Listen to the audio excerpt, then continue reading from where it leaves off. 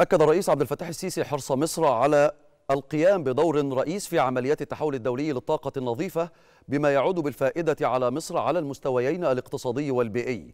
ومشيدا في هذا الصدد بالتعاون المشترك بين مصر واليونان في المجالات كافة. جاء ذلك خلال اجتماع الرئيس السيسي مع ديمتريس كوبيلوزوس رئيس مجلس إدارة مجموعة كوبيلوزوس اليونانية للبنية التحتية. حيث أوضح المتحدث باسم رئاسة الجمهورية أن الرئيس السيسي وجه باستمرار وتسريع جهود التعاون للانتهاء من المشروعات المطروحة في أقرب وقت ممكن. اجتمع السيد الرئيس عبد الفتاح السيسي بالسيد ديمتريس كوبيلوزوس رئيس مجلس إدارة مجموعة كوبيلوزوس اليونانية للبنية التحتية بحضور الدكتور مصطفى مدبولي رئيس مجلس الوزراء. والدكتور محمد شاكر وزير الكهرباء والطاقة المتجددة وعدد من كبار مسؤولي الشركة. وصرح المتحدث الرسمي باسم رئاسة الجمهورية المستشار أحمد فهمي أن السيد الرئيس اطلع خلال الاجتماع على تطورات مشروع جريجي للربط الكهربائي مع أوروبا خاصة مع نجاح جهود إدراج المشروع في القائمة الأولى للمشروعات ذات الفائدة المشتركة بالاتحاد الأوروبي.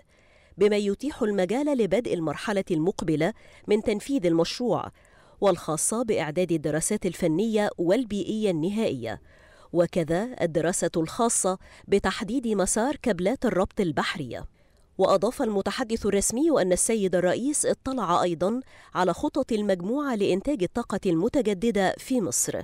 وفي هذا الصدد استمع سيادته إلى عرض لجهود تعزيز العمل المشترك بين مصر والمجموعة لتنفيذ مشروع إنتاج 9.5 جيجا وات من طاقة الرياح والطاقة الكهروضوئية بما سيمثل دعما حقيقيا للاقتصاد المصري ويسهم في تعزيز جهود الانتقال للطاقة النظيفة في مصر وأوروبا.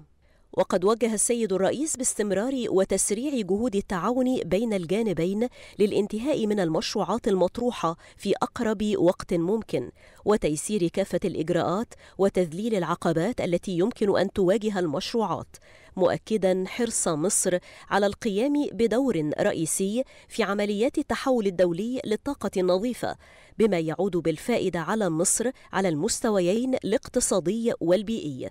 ومشيدا في هذا الصدد بالتعاون المشترك بين مصر واليونان في كافة المجالات والذي يعكس العلاقة القوية بين البلدين.